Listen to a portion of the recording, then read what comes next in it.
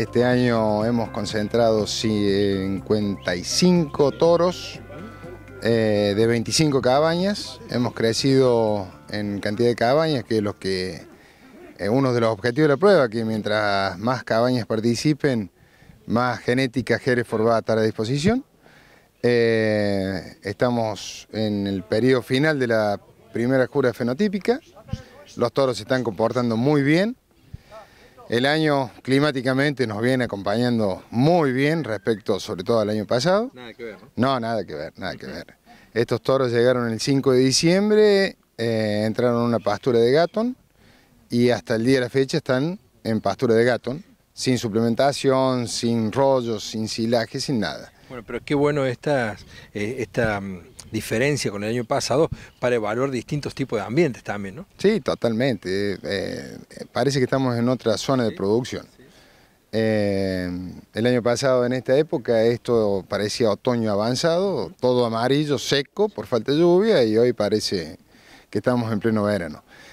Eh, la torada de, que participa de la segunda prueba, eh, todos los cabañeros eh, se han puesto más exigentes, por lo tanto es mucho más homogénea, eh, de mucho mejor desarrollo, así que estamos muy contentos, tanto nosotros desde la universidad como los cabañeros que participan de la prueba.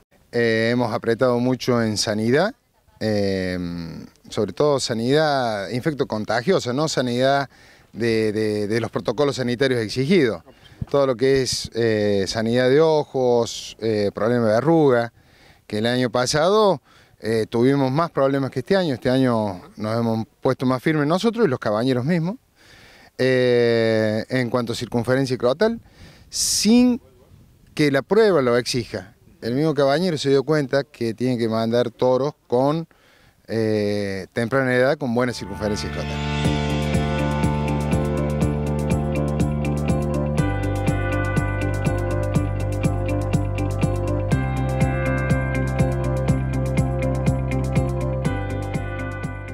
Experiencia anterior eh, se ha notado en la selección de los animales que nos han mandado. Eh, y bueno, y gracias a Dios con, eh, con unas condiciones ambientales muy buenas como para hacer la prueba solamente con pastoreo hasta ahora, Bien. hasta la fecha. Nosotros vamos a tratar de dar la vuelta todo el año a pasto.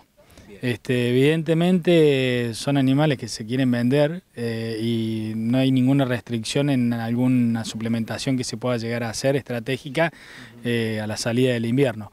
Eh, pero como venimos, con la cantidad de pasto que venimos y las condiciones que tenemos, eh, yo creo que van a dar la vuelta muy bien.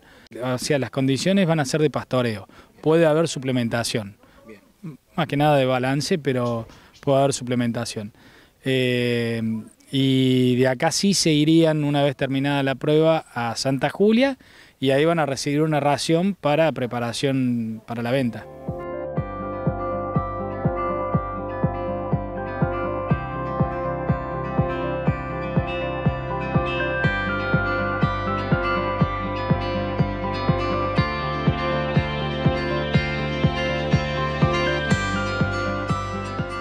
Yo vengo de la provincia de Entre Ríos.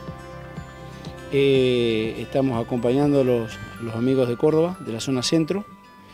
Eh, además de yo ser, estar en la directiva, formo parte de la Comisión Zonal Mesopotámica. Así que realmente muy conforme, muy linda jura. Se dio un paso más.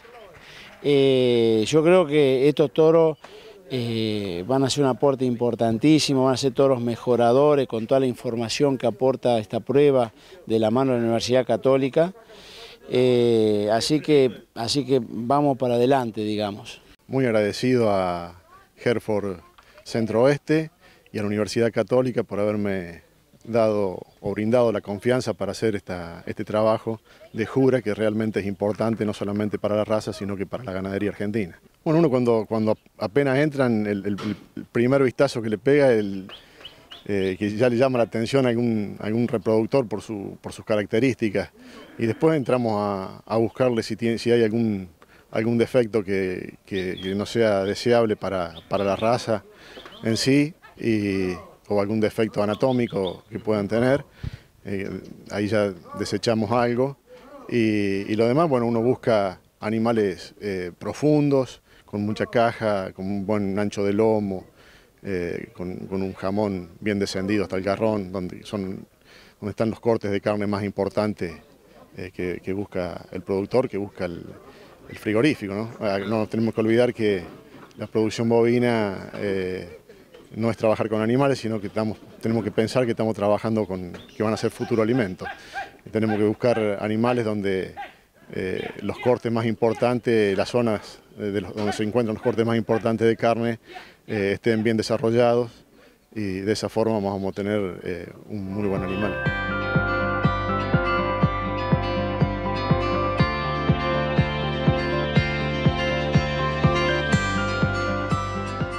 muy conforme, la verdad que la selección de animales que han mandado es muy buena, es muy buena torada.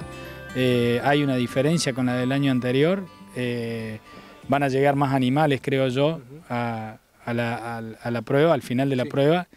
Eh, y bueno, con las expectativas de que también se refleje en la venta. Es trabajar sobre algo que ya vivimos, la primera era mucho aprendizaje, la segunda es capitalización del aprendizaje, que no es lo mismo. Entonces, estamos trabajando igual, pero con un futuro ya sabido. Eh, nos pasa a nosotros de la universidad y le pasa a los cabañeros que participan en la prueba. Ya sabemos lo que ocurre, ya sabemos los resultados, entonces solamente tenemos que ajustar algunas variables y se vive un clima, como lo habrás visto, muy cordial, muy ameno y eso no lo queremos perder nunca.